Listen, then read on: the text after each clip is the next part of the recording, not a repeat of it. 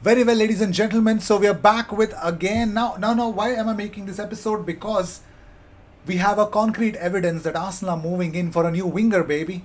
Yes, Facundo Torres. He is the winger that Arsenal are looking after, and my God, how do I know this? Well, so many uh, media update has been out, and yes, Arsenal are interested in Facundo Torres. We're going to talk about him. We're also going to talk about Alan Shearer's Premier League Team of the Week. We're going to talk about a, a huge deal of Arsenal news. So stay tuned. And of course, if you seek regular Arsenal content, the best place to be, consider subscribing, man.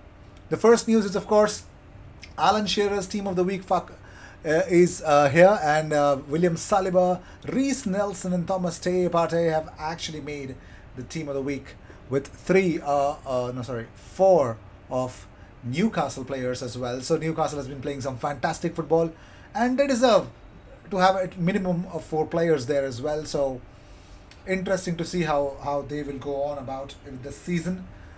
Well, uh, talking about the resurgence the, and the establishment of Reiss Nelson. Yes, ladies and gentlemen, Arsenal squad are showing their love for Reiss Nelson with Bukayo Saka posting this on his Instagram stories about Reiss Nelson.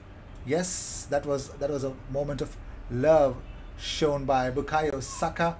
Well, not only him, well, ladies and gentlemen, it was the big man Emile Smith Rowe sharing this similar uh, love it bro is what he posted on his Instagram stories as well of Reiss Nelson. But more importantly, it was Aaron Ramsdale says, My man Bulky, so happy for this kid man, Reiss Nelson. Yes.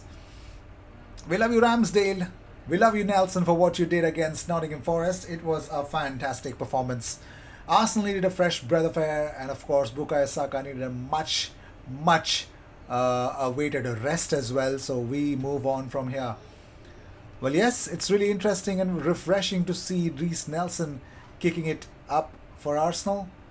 But moving on, let's talk about uh, more other stuff. Well, Premier League Team of the Week for WhoScored.com is here as well. Yes, the Premier League Team of the Week is here, and we have Reiss Nelson, Martin Odegaard, and of course Gabriel Jesus in the 11 with Callum Wilson and Joelinton from Newcastle United making it, and of course Illan Meslier make it make into makes into this as well as uh, Alan Shearer's Team of the Week team as well. So interesting to see what the future holds. But more importantly, Takehiro Tomiyasu, Arsenal defender, has made it into Japanese national team squad for the 2022 World Cup in Qatar.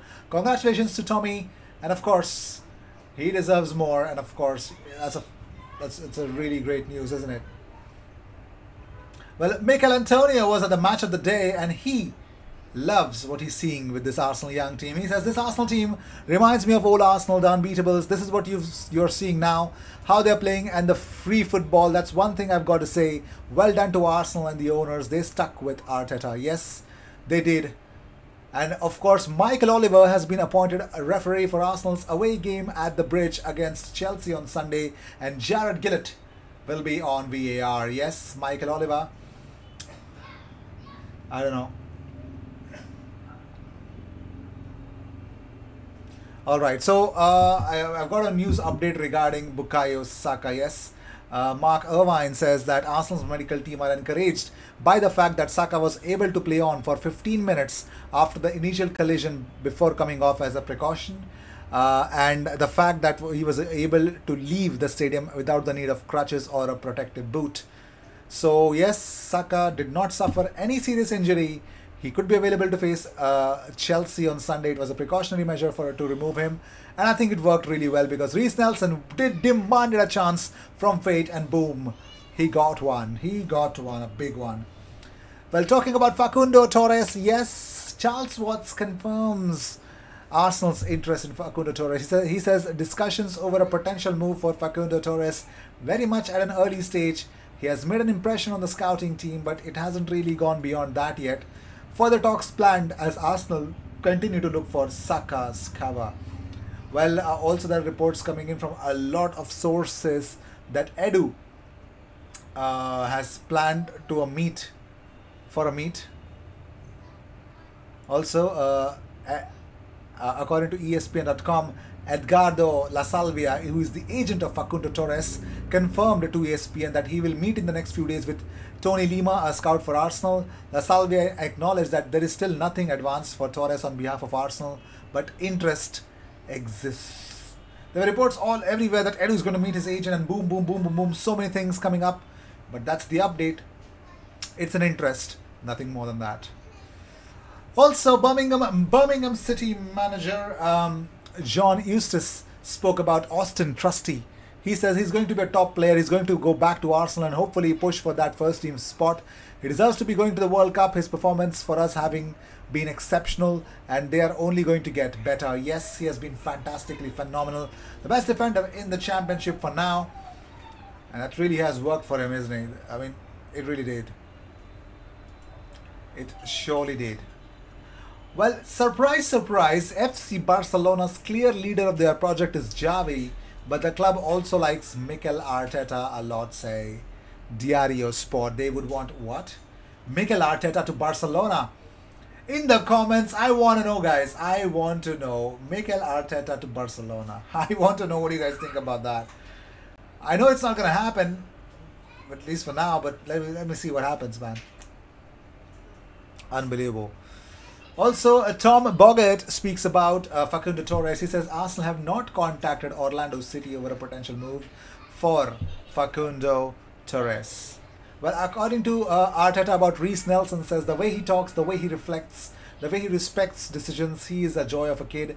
We all want him to be successful and do well. What he has done today for the team is something he really means.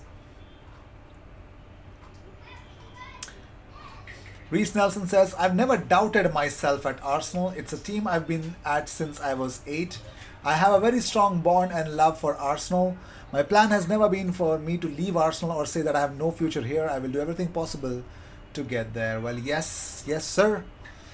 Yes, sir. We were looking for a winger. Boom, and that is the winger, man. Well, Takehiro Tomiyasu has told the Sunday Mirror that he is used to play as a holding midfielder back in Japan. So he says, when I was in Japan, I used to play as a number six. I started playing as a fullback three or four years ago in in Bologna. But it doesn't matter where I play. I'm happy to play anywhere on the pitch as long as I help. So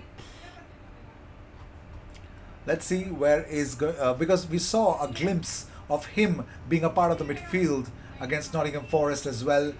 I saw that and I was like, bro, bro, we we see City City fullbacks go go into the midfield and actually try to venture a lot, and uh, we kind of I saw that as well. So I was I was I was really surprised.